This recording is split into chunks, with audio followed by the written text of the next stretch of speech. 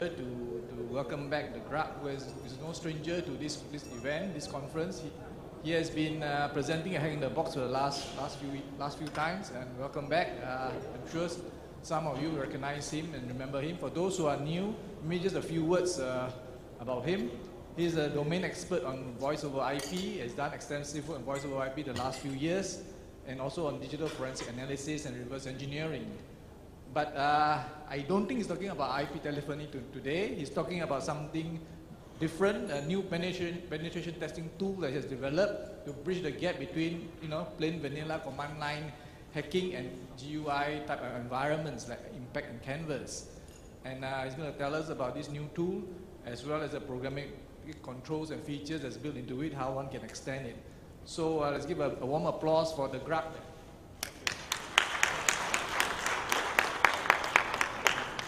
Thank you. Um, I have to apologize beforehand. I've got a cold, so if I start like sneezing and coughing in the middle, uh, it's not you, it's me. Um, all right, so this is going to be a talk on a new type of tool which I've developed, which is a tool to help bridge the gap between uh, sort of pre-penetration and post-penetration tools.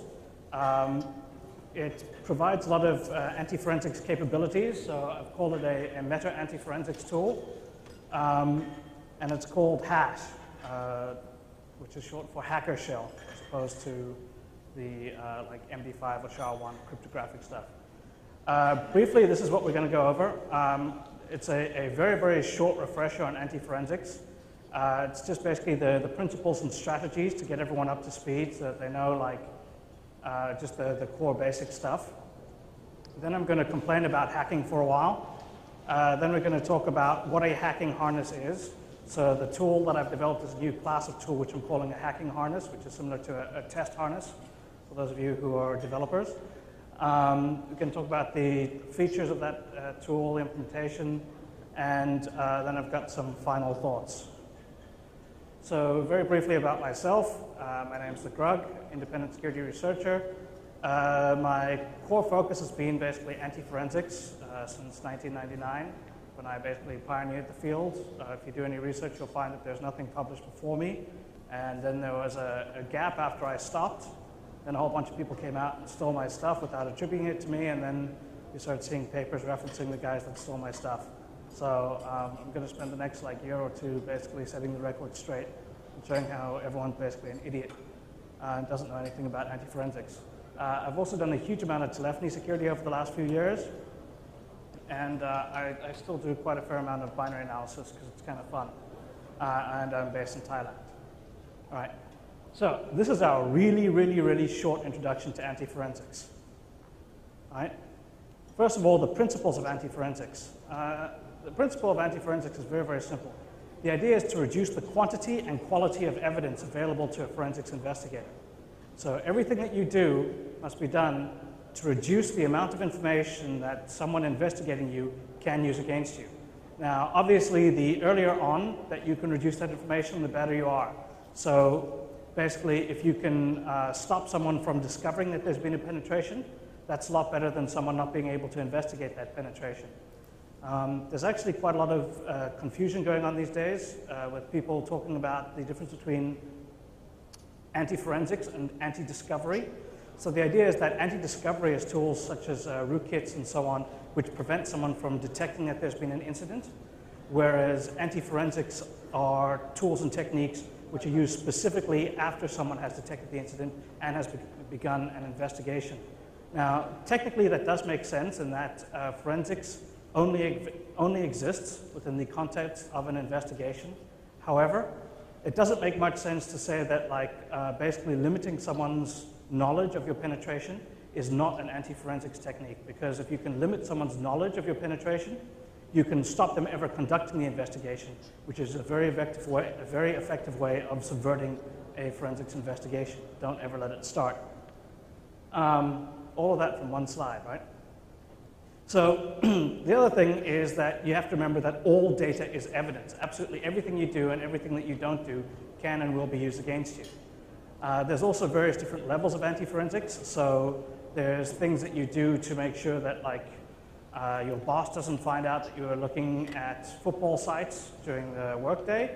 and there's things that you do to make sure that the police don't put you in jail for looking at child porn. Right? Those are different levels of anti-forensics. So one thing that's sufficient to keep your boss from getting angry is probably not sufficient to keep you out of pound me in the ass jail. So there's levels and things, and it, it, a lot of it has to depend on how intelligent you believe your uh, forensics investigator is going to be. Um, short hint, if it's the police, they're idiots. You don't need to worry about them. And it's, if it's the FBI, they're idiots as well because they train the other idiots. Really, like, I wouldn't worry about it. Um, okay, so fundamentally, we, we're aware of the fact that data is evidence, and we want to do everything we can to keep uh, evidence to the smallest amount possible. So, right, Ooh. what are the strategies that we can use to do that? Well, the simplest strategy is data destruction. It's actually also the most difficult to do properly. So data destruction is when you destroy data on the disk. Okay? So there's several different techniques. Obviously, you can use a hammer. Um, this is effective one time, but it limits the use of your laptop for uh, further activities. Um, you can use secure deletion. So there's a couple of secure delete tools out there, such as SRM and wipe. Now, these tools are good in that they get rid of the content of a file, but they do not actually do complete data destruction. If there was complete data destruction, what they would be able to do is revert the file system to a state prior to the creation of that file. So the idea would be that proper data destruction would actually reset the file system back in time to before the file that you're trying to get rid of ever existed. So it's actually fairly complex to do properly. However, for the purposes of uh, subverting an investigation, you don't really need to do all that much. You just need to make it difficult for them to find what they're looking for, and you've basically won. Okay? Um, next up, we've got data hiding. Uh, data hiding is what I spent a lot of my time on because it's very exciting and very sexy. Um, unfortunately, it's actually kind of difficult to do properly, and it doesn't get you much more than data destruction does. So data hiding is where you go out of your way to find bugs in forensics tools which will allow you to put uh, data in areas that the forensics tools cannot find. And you'd be surprised at how many bugs there are like this. There's just really, really huge amounts. Uh, in fact, uh, almost all of the bugs which I found back in like 2002 uh, still exist today, five years later. So uh, not only do the bugs still exist, they're easy to find, but they never die. Uh, the one open source bug that I released for TCT took nine months to get patched. Right? Nine months for an open source tool. And that's the only bug I know of that has actually ever been patched. So data hiding is actually uh, quite complex to do.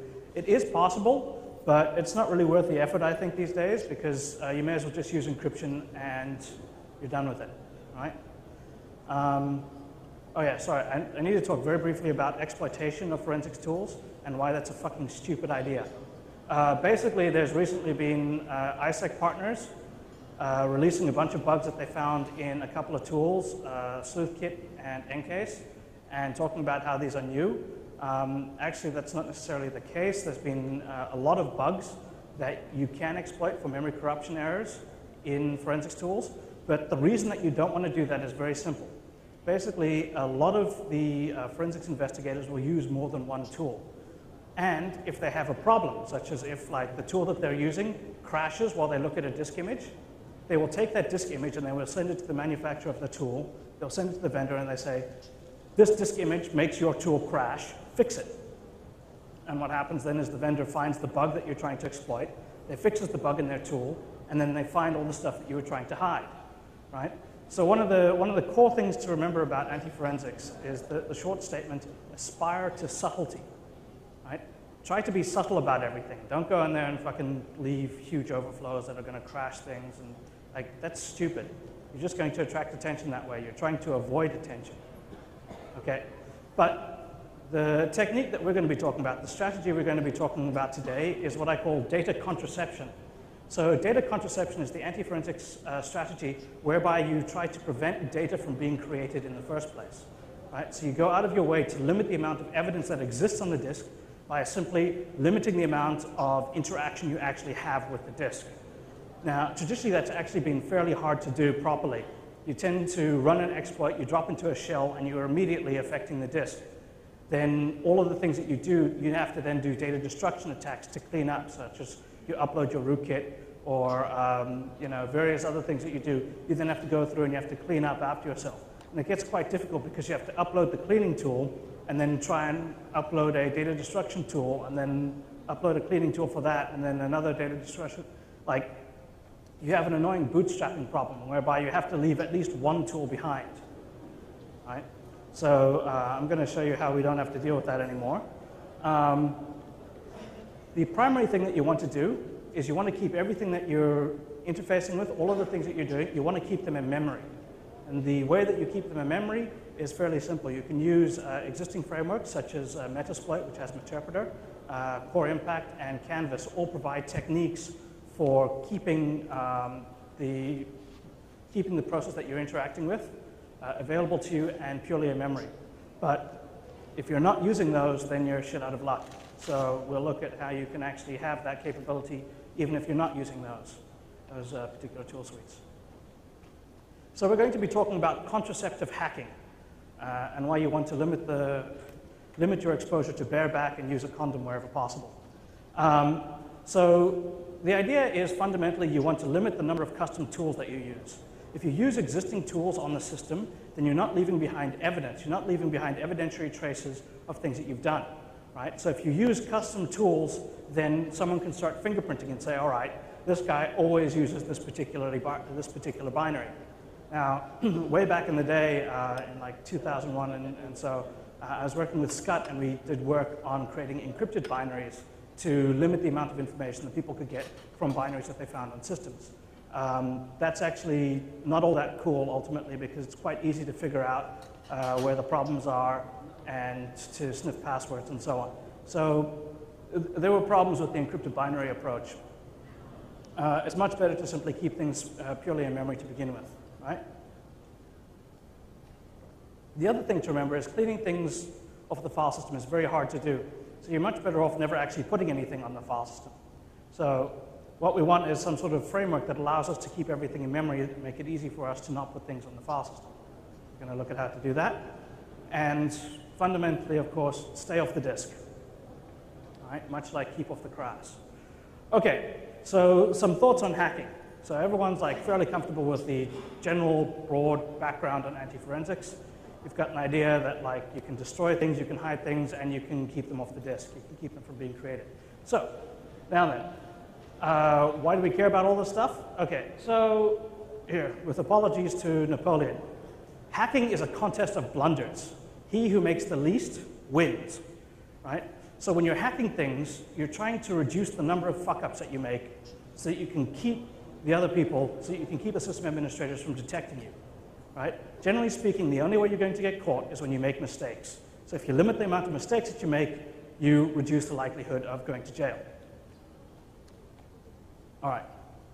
So if we look at hacking tools in general, I basically classified them into sort of three types of tool. You've got pre-penetration tools. So you've got tools which can help you find bugs that can allow you to do penetrations. So we've got all the terribly exciting fuzzers, uh, binary analysis, source auditing, and so on. You've got all of these tools which will help you find bugs, that will help you actually commit a penetration. Um, there's a really dirty joke in there somewhere which I'll avoid. Okay, then you actually have penetration tools. You've got tools which help you during the penetration phase. So you have uh, exploit frameworks, which allow you to use uh, pre-written, uh, pre-written ex exploits or make it easier for you to write your own exploits. You have uh, like SQL injection frameworks, uh, fucking more of those. Like basically there's a whole bunch of tools out there for penetration stuff, right, for actually breaking in. And then finally you have the post-penetration phase. So the post-penetration phase is after you've actually gotten in and now you're going to do the exciting stuff. Now, as a penetration tester, this is usually the end of your work, right? As soon as you get in, you're done. Whereas as a hacker, as soon as you get in, you start, right? This is where things start for a hacker. And which, this is why it's actually so shocking that there are no tools out there to really help this phase. So uh, the, the basic tools that we have for the post-penetration phase are rootkits, which basically hide your presence on the system, and backdoors, which uh, prevent you from, which basically save you the trouble of having to go through all the pre-penetration and penetration steps again from scratch. But there's actually nothing out there to simply help you in the post-penetration phase, right?